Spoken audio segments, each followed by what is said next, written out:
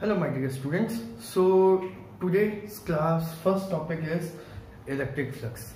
Okay, now what is electric flux? Suppose there is one closed surface or there is any any type any type of surface like this. This is a surface, okay? Now I have kept a charge plus Q here. Okay, so number of electric field lines passing perpendicular through any surface is known as electric flux. Condition is that it should pass perpendicular, okay? Like this. ये perpendicular गया, so this is electric flux. Okay? अगर ऐसा जा रहा है तो नहीं. This is not the electric flux. Okay? This is electric flux denoted by phi. Okay? Generally, we consider electric flux inside a closed surface where a plus Q charge is kept. Okay, so this charge plus Q. So whatever lines are coming from this surface will be perpendicular. You can notice from any angle, it will be perpendicular. Okay, so these are electric flux. So you will add the definition, the number of electric field lines, the number of electric field lines passing perpendicular through any surface is known as electric flux. Okay, fine. So this is electric flux. Okay, there is one formula for this. Now, what we are considering? We are considering this total surface S small uh, S or capital S, capital S. We are considering. Okay, so I am considering the surface area is capital S and there is one small area okay in this sphere okay the small area whatever diagrams or derivation we are taking okay whenever we consider small we will consider with small d okay तो इसका area का एक small area that means D S ये S है तो okay fine now from this small surface a very small amount of electric flux will come out है ना suppose this electric flux total electric flux coming out is phi total electric flux so small amount of electric flux coming out from this surface will be d phi small amount okay now when we are calculating the value of d phi it comes out to be d phi is equals to total electric field coming out from the surface into small amount of the area. Okay? D phi is equals to eds okay?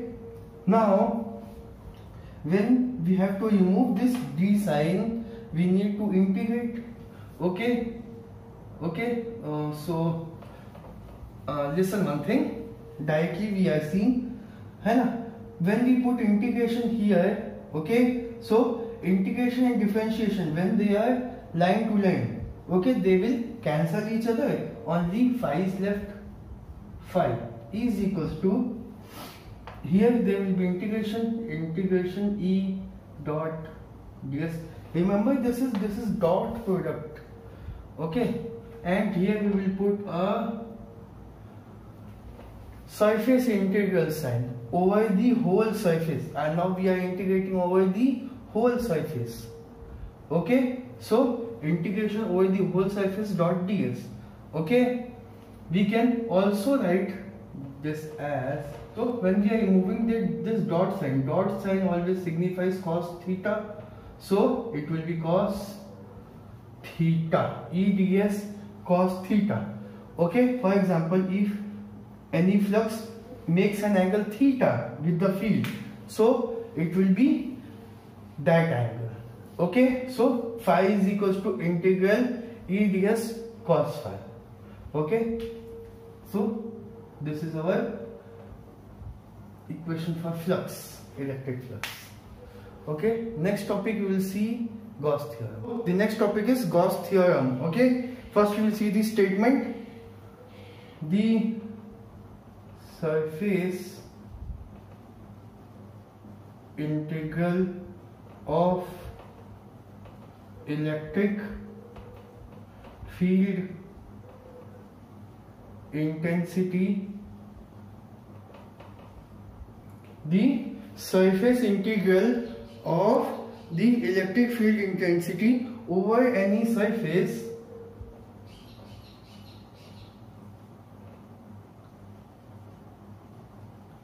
Is 1 by epsilon naught times okay the total charge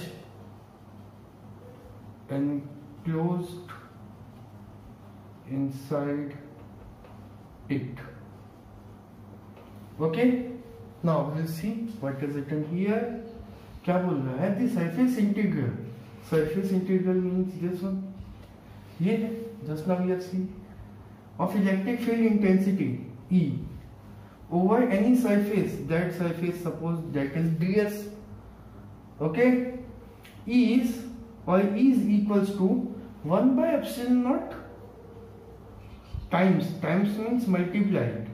Okay? The total charge let the total charge is q. Enclosed inside it. This is the formula. Okay? We have made formula from this statement only. Okay? So you can write integral e dot ds is equals to q by epsilon naught. Okay? And we know this is equals to phi है This is equals to phi. So we can write right equals to phi. okay? So this is gauss theorem. Fine? Now we will prove this gauss theorem. So now we'll see proof of gauss theorem. Okay? So we are considering a spherical surface or any surface you can consider but we should consider spherical surface for this derivation to prove the exact one okay? So we are considering a spherical surface okay? Now we are keeping a plus q charge inside it. So we are considering one electric field line is passing through this small surface ds okay? We are considering a small surface. This is total surface s okay? In that there is small surface ds through which electric field e is going out okay and intensity of electric field can be calculated okay? And a small amount of flux d phi is also coming out okay? So what we can write d phi from Gauss theorem? We can write d phi is equals to integ uh, integral will not come. When we will remove d from here then there will be integration. So directly I am writing phi. Directly from the Gauss theorem last line integral e dot ds yes. Now we will remove this dot product. So it becomes uh, now I'm removing this and also EDS cos theta. Okay? This theta is angle between E and ds okay? Angle between E and ds angle of between E and ds ds is here and d s is here and E is also in the same direction. Ds gives you the and E also is in same direction okay? Don't think that they are perpendicular. They are in same direction okay? When two lines are in same direction or two things are in same direction angle between them is 0 degree. So we will put theta is equals to 0 degree. Cos 0 is 1 so what we see here? phi is equals to integral e ds is left on the cos 0 is 1 now formula for e electric field intensity e is 1 by 4 pi epsilon naught into q upon r square. Suppose this distance is r radius of this sphere is r from here to here. Okay? So and distance from these two points is also r. Okay? Into ds fine we have given the formula for electric field intensity we have already studied electric field intensity okay now we will take constant out from this integration sign. Constant R, one is constant, 4 pi epsilon naught, all are constant. Okay, charge Q is constant. Okay, and distance will be constant, it will not change.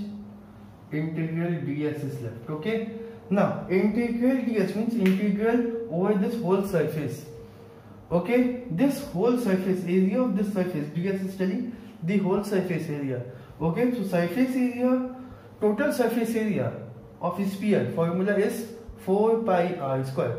Remember this thing? You have studied in lower classes. Total surface area of sphere is equals to 4 pi r square. So i'm putting here the value 1 by 4 pi epsilon naught q upon r square into in place of integral ds we will put 4 pi r square. Okay now see here 4 4 cancel pi pi cancel r square r square cancel. What is left? Q upon epsilon naught so it comes out to be 5 upon q upon epsilon naught yes and this is only the Gauss theorem.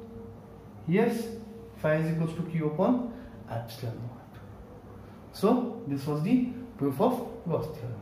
Okay, thank you.